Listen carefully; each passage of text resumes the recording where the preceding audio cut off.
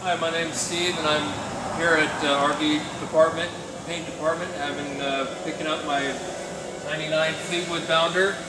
Um, I brought brought it in originally for some work that was uh, damaged in the back, and uh, when I came to pick it up, it was I was so impressed with the work, I decided to have have the striping redone on it. So brought it in, had Raymond and his team, Sergio the painter, uh, brought him in very rough idea of what we were looking at, and they kind of took it to the next level for me, completely redoing the striping, the paint job, buffing out the, the cab, and I couldn't be more impressed. It was a super job. I'm very impressed with the work here.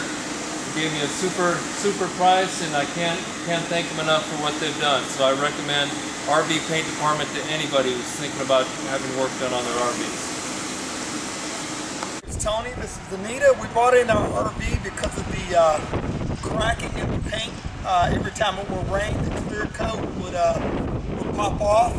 So my wife found uh, the paint department, RV paint department on the internet, and uh, this is what's going on before. So it goes well. Once we uh, and the uh, painted the same uh, similar style as the RV, so it matches and it looks good going down the road. We think the RV department. Hold on, hold on. One, go ahead. My name's John Begin.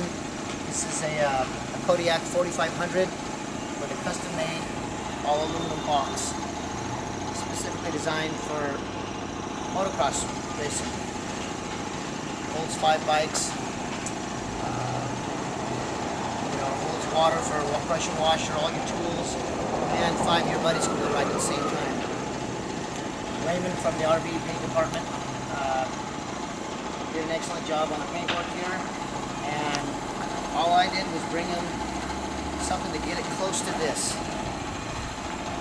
And he came up with the uh, the final design, but I gave him a starting point. Other than that, they did a great job. Thanks a lot.